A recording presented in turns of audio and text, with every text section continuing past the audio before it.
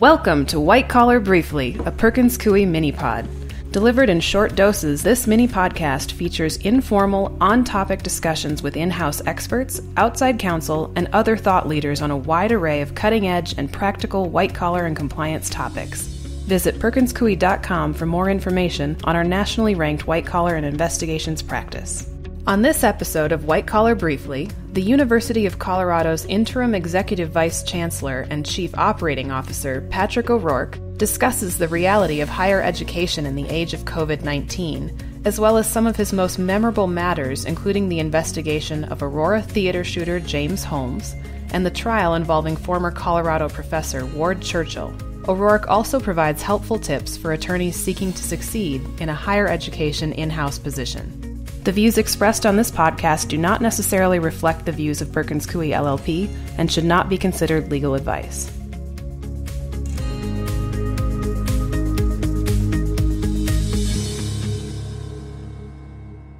Welcome to this episode of White Collar Briefly. I'm your host for today, Gina LaMonica. Today we have as our guest Patrick O'Rourke, former GC and interim COO at the University of Colorado Boulder. And also with us is my partner and co-host Marcus Funk. Pat, great to have you. And I think you're our first higher ed in house counsel that we've had on our show. So we're doubly excited because we can ask you about all the secrets of what's going on at, in higher ed right now fair enough, but I'm not in house counsel anymore. They took me out of my lawyer job.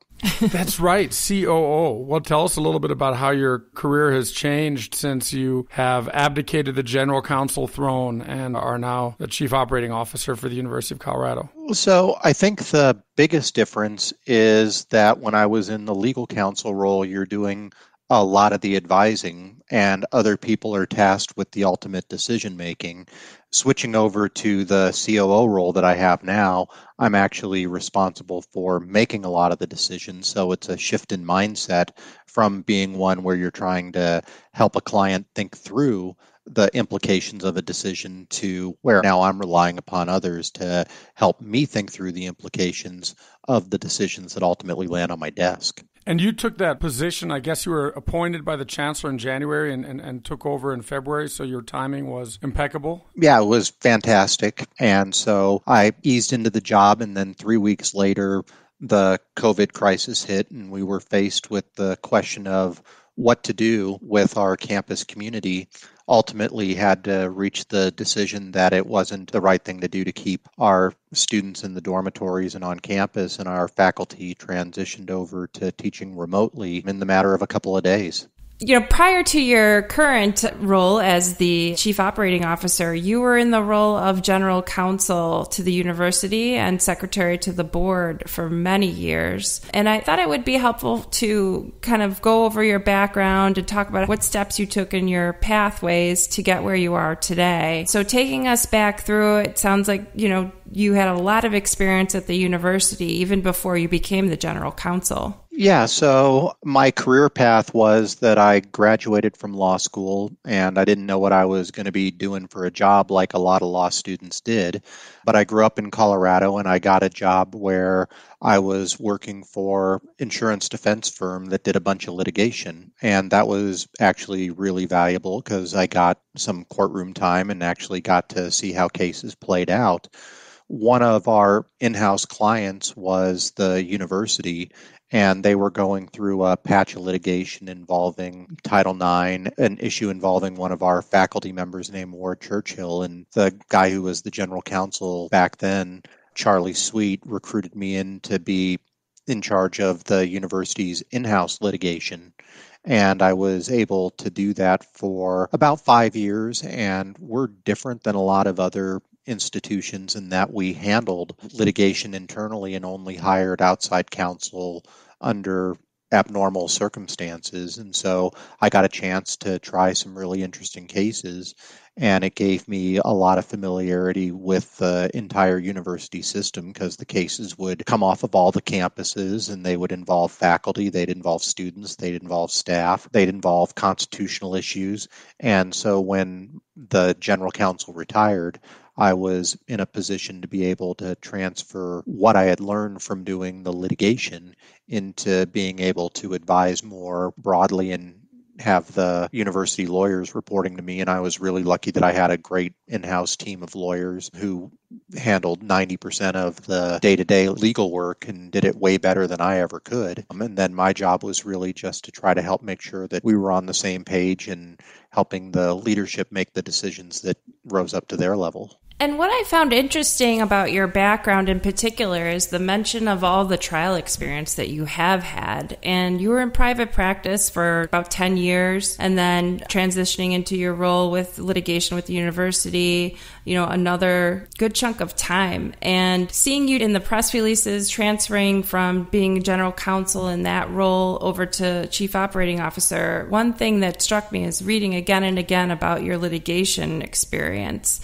And I was wondering whether you feel like you got more experience in private practice in a decade worth of practice, or uniquely perhaps since you've moved into the university role, if you had more experience in courtroom trials, etc., in your time at the university. So I think the amount of courtroom time I got was roughly equivalent like anybody else who was litigating. You had some cases that went to trial, you had some cases that settled. The real difference was when I was in private practice, you got to see a whole lot of different businesses, different clients, how they approached their decisions in many different ways. And you got a lot of exposure to how people would do things differently, which was valuable to when you went in in house then you become really enmeshed in your particular client's culture. But you also then bring in what you have learned from litigating for other people as well. And so it was really a nice way to be able to blend the breadth of private practice with the depth of really understanding a particular client. I had a false belief when I came in because I'd been doing outside litigation for the university for a number of years that when I came in, I thought I know kind of how the place works. And what you find out is that when you're outside counsel, you don't really have the same type of insider's perspective that you think you do. And that when you get really immersed in the day-to-day decision making you have a better understanding of what are the issues and the impact of how litigation really filters through the whole business. That raises a, another question i had which is you know a big part of practicing in law is client satisfaction. And just wondering you know you've worn a lot of different hats throughout your career. How have you tried to thread that needle of outside counsel inside counsel and answering to many masters probably on on both ends of that spectrum. But in terms of client service, client satisfaction, what have you taken away as the important parts of that aspect of practicing law? I think it helped me coming into an in house role to have been outside counsel because you really do have to approach it from client service perspective. There are people who have either been in public service or in house that haven't had to deal with the demands of having multiple clients, having the same number of constituents that you have in outside practice, and bringing the, the client service perspective into an in house role. I think the constituents appreciate it. With our in house legal office, we actually did surveys of our critical constituents and treated them like they were clients rather than just treating the whole organization as a client. And you might find that the HR department on the Boulder campus thinks you're doing a great job, where the people who are working in Treasury might think you're not doing so well. And just like you want to get feedback from your clients in private practice, you want to get in house counsel as well because ultimately you're not sending out monthly bills to those folks but you are going to them and saying listen i need to hire a lawyer or here's something that i think we need to do and if they're not happy with the quality of the service that you're giving them then they're probably not going to support your operation. So you need to be just as attentive to your constituent demands in in-house as you were in private practice, with one exception, which is that when you're in private practice, you really have to be responsive to all of your constituents. What you do have in house is you have some decision makers at the top where if you've got competing demands, you can really go to them and say, how do we prioritize the demands right now and which ones are most important in a way that you can't do as much when you're in private practice. You know, I was going to ask you about the James Holmes case, which I think our listeners will be really interested in hearing about. And I think your experience in private practice and your sort of in the trenches sensitivities came into play in that case. But you mentioned Ward Churchill. And that's another case that you personally actually handled, which, as you said, is, is pretty unusual for folks who are in house in a higher ed uh, capacity.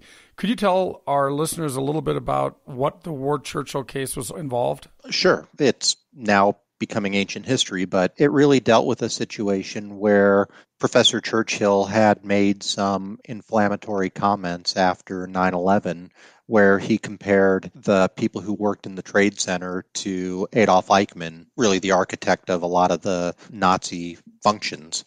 And when he did, that brought him under a whole lot of public scrutiny ultimately the university made a decision that was a correct one that Professor Churchill's speech itself was protected by the First Amendment. During the course of that whole controversy, some people came forward and said that Churchill had engaged acts of fabrication, falsification, plagiarism. And so there was an internal investigation to look at that and to reach a determination by some of our faculty groups that he had engaged in that type of misconduct for which our governing board dismissed Professor Churchill. He then sued and claimed that the discharge was pretextual and that really all tied back to the First Amendment issues. The hard part was explaining that, yes, although it was the First Amendment protected speech that brought him into the public eye, we still had an obligation to be able to investigate misconduct that brought it to our attention. That case went to trial, and a jury initially awarded Professor Churchill a dollar. The judge then determined that the university was entitled to judgment as a matter of law and that decision was upheld through the Colorado Supreme Court, with the U.S. Supreme Court ultimately denying certiorari and establishing the principle that universities have an obligation to be able to investigate misconduct when it occurs and that the fact that there was protected speech that may have given rise to the need to investigate doesn't mean that you are prohibited from investigating.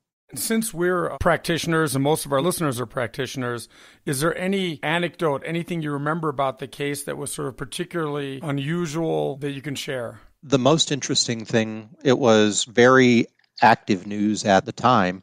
And I had the weird experience of that the trial was being broadcast daily, as well as that there were two different websites that were live blogging the trial. And the most interesting piece to me was people were saying, don't pay attention to the media. But it was like having an extra juror in the courtroom. And that if you would look at the live blogging and they were saying, this person testified, but we didn't really understand what they were trying to get out of him, or that something really fell flat. It was getting the perception of other people who weren't on your team, who are always telling you, wow, you're doing great, that getting that impartial feedback. And after that, I actually thought it was important to have impartial observers who were just kind of watching the trial and who weren't part of the trial team to be able to provide feedback on what was landing and what wasn't. That I never would have figured that out unless I had been through an experience where I was getting live blogged and some people were telling me, yeah, this really worked. And other people were telling me that really sucked. And understanding that people who are really immersed in the case tend to lose sight of the big themes. In your career at Colorado, you've covered a lot of important, a lot of high profile, a lot of sensitive, in some cases, all of the three cases, investigations matters. The other one that I thought our listeners would be particularly interested in hearing a little more about is the tragic case of James Holmes, tragic for his victims. I was hoping you could, just by way of a refresher, for those who may not remember or not as familiar with the James Holmes matter, maybe you can again give us a, a summary of what the James Holmes investigation involved, how it came about, and then also reflect a little bit on what you're looking for when it comes to investigations and investigators. Yeah, happy to.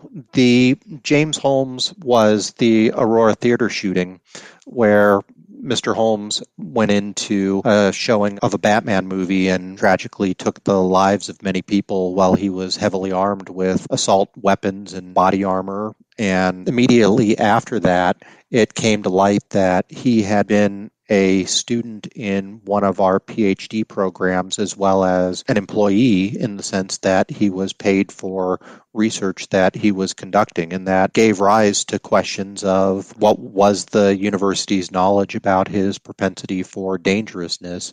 And none of this is privileged because it all came out in his criminal trial. He had mailed a notebook that discussed some of his plans to his psychiatrist, woman named Lynne Fenton, who received the notebook tragically after the shooting itself happened. And so there were questions about what did the university know and when. In that type of situation, we're a public institution and it's important for us to be accountable. And so rather than doing an in house investigation where I think that people are inherently distrustful. It was important for us to bring in people who had knowledge and expertise. And so we contacted Perkins Coie in large part because of the work that Bob Miller had done as the U.S. Attorney to be able to come in and look at a number of critical questions, including how was the medical care that he had received provided, what was the nature of his admissions process, and was there any reason to believe that we had not adequately responded to potential threats within our community.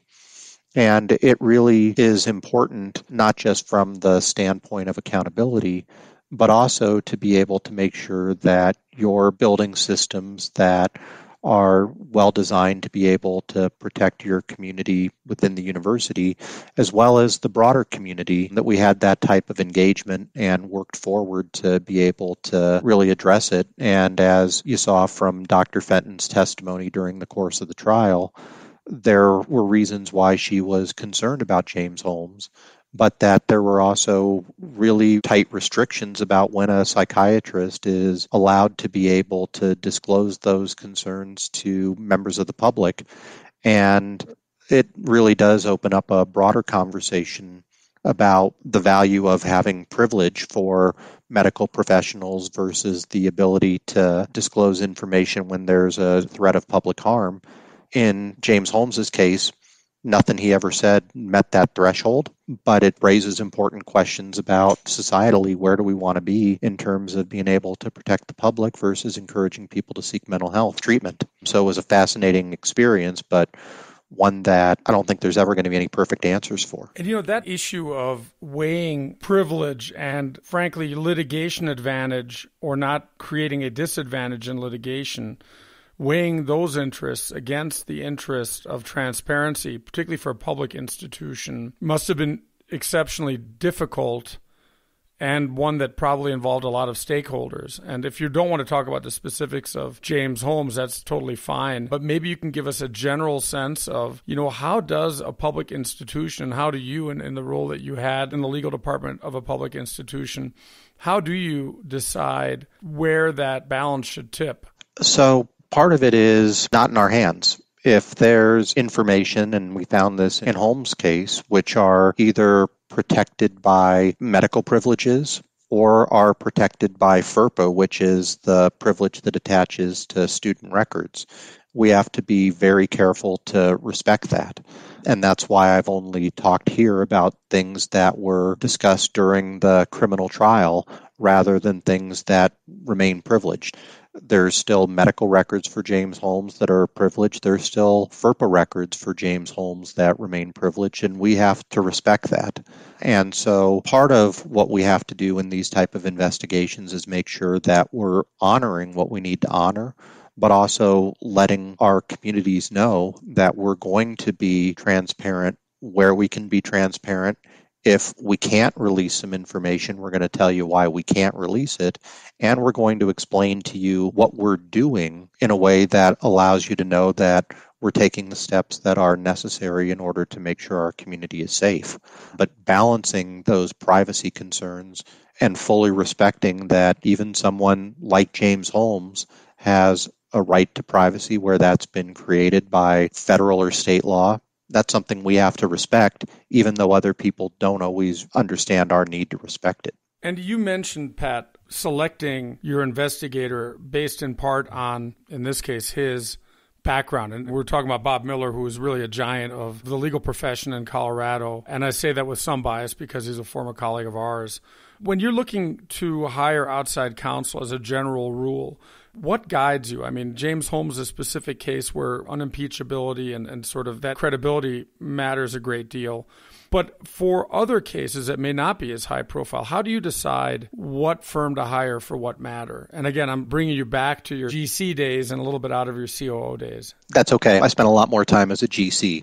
So I think when you're looking at an outside investigation, the first thing you have to decide is do we need to hire somebody? And the reasons that you hire outside people for some investigations versus others. Number one is you could have a conflict where you don't think it's appropriate to have your internal people doing it. Number two is you could have a situation where you don't have the internal resources to be able to do it well and then there are other times where you need to have the independence of an outside investigator, even if you had the knowledge and capacity to do it internally and had the expertise to do it. But there's some reason why you want to make sure that you have that degree of independence that's there. And Holmes fell really in two categories for us. Number one was the resources were pretty intensive, as well as the need to be able to say that this is an independent investigation and to make sure that nobody would think that the university had a motive to conduct an investigation that was internally controlled. So, first thing you have to do is decide on what's our motivation for doing it. I think the next question is who's then best equipped to be able to do the investigation? Sometimes that's a law firm. Sometimes it's not. I mean, when we have some employment investigations, sometimes we bring in groups that have expertise in employment and being able to do it. If we have something that involves uniquely medical issues, you might bring in somebody with particular medical expertise. So, figuring out who has the right skill set to be able to do it is important, and then making sure that you're matching the expertise with the need. And then sometimes, especially when you're talking with law firms, one of the questions is going to be one of privilege. And right up front, you need to be in a position to be able to identify are you conducting an investigation and is that investigation going to be privileged? Because there are times when you're going to bring in a law firm to conduct an investigation with no expectation of privilege, we had one that followed up a couple years later where we hired Cozen O'Connor to come and investigate some allegations that our athletics department did not appropriately respond to acts of domestic violence. And that report was a non privileged report, non privileged investigation you really have to get that sorted out on the front end so that when people are going to meet with the folks who are doing the investigation, they're doing it with full knowledge about what the context is of the investigation and how the information is ultimately going to be used. In the context of abuse or misconduct by a member of the staff, did you have concerns about and were there follow on acts of litigation against the university? There were, and those case was dismissed, but we understood that there was the potential for litigation, but we also understood the need that in that particular case we weren't dealing with issues of privilege in the same way we have been with some other investigations. And so in the absence of privilege, it really turned into one where questions of transparency and accountability for a public institution were the guiding consideration and that was important. And ultimately, there were statements that were in the investigative report that became part of what was in the pleadings that were filed in the lawsuit. But you have to look at that in terms of risk. And we accepted the risk that the investigation could disclose information that might be disadvantageous to us, but it was more important for us to be transparent and accountable with our own communities. And just to follow up on, on another topic that came up the role of media. And you talked about how sometimes it can be a helpful factor, for example, in a trial when they're kind of acting as another juror in the case and you're getting, you know, feedback on what hits and what doesn't. In terms of conducting investigations, certainly the Holmes matter was a high profile investigation investigation. Did you have a different interplay with the media in that circumstance? You know, any frustrations or difficulties in dealing with that? Or were they helping to you know, provide that transparency that the university was trying to achieve? It depends on what you're dealing with. But the general rule that I have is that we're a public institution. We're subject to open record laws. And even if we weren't, we need people to have confidence in what we do. Very rarely do I believe that no comment is a great strategy. Most of the time, when people say no comment or that we don't talk about things that are in litigation, that really frames the opportunity for other people to be able to create your dialogue the way they want to. So I really approach the relationship with the media as one where I will talk to them about what we can talk to them about. And when we can't talk to them about something, to be very clear about why we can't. If we have information related to James Holmes that we can't give them because federal law prohibits us from giving it to them, I don't want it just to be a we can't give it to you. It needs to be we can't give it to you and here's why so that people understand and to be able to talk about what we can do rather than what we can't do. So if you treat the media as the adversary in that conversation, it tends to reflect poorly on the institution. And we need to be in a place where even if people don't like the answer that we're giving them, that they understand it. I think that makes a lot of sense. And there's uh, one more topic that I think we wanted to touch on if we can take up a little bit more of your time. And that is just your general reflections or advice for legal practitioners that are interested in practicing in the world of academia, perhaps going in house for a university. And if you have any insights or cautions for people that might want to pursue that type of legal career. So I think the first thing is to recognize that universities, if people are interested in them, are extraordinarily complex type of places. And if you think about it this way, we essentially have within the University of Colorado system, we're one of the state's biggest employers. We have thousands upon thousands of students. We have doctors that are performing millions of procedures in the hospital. We have an athletics department. We essentially operate as a landlord for mm-hmm. the people who live in the residence halls. We have police forces. We have student code of conduct, and we have people who are inventing stuff, and so we have to get patents and everything else. What that really means is that we need specific skill sets when we're looking to hire legal counsel to come in house. We're not looking for a higher education lawyer most of the time we'd be looking for somebody who has employment background because we have a need for people to be handling employment matters. We need to have people who understand export control because we have issues with technology in foreign governments. And so looking for people who have a skill set who are then interested in coming in and working within our community really serves us well. There are very few people, and I'm one of them. I don't have the expertise to be able to say I understand all of higher education law because it reaches so many different places. What I'd be looking for is people who can say, I have strong skills within a particular area and have those translate into the higher education community. And do you feel at all like as you've progressed up in your career, you know, now acting as a chief operating officer, that you yourself have become more of a generalist, more of a jack of all trades as you've ascended in your career, or how has your trajectory changed your practice? I was kind of a jack of all trades in private practice where, you know, there are some people who in my law firm, all they did was construction litigation or all they did was medical malpractice. I always had a pretty varied litigation practice which was helpful coming in because you weren't just thinking about a type of litigation. I think that then when I got into being within the university, you get exposed to all of the different areas. And I think that when you get to the point where you are in a GC type of role, I've had lots of people on my staff who were really, really deep subject matter experts in particular areas.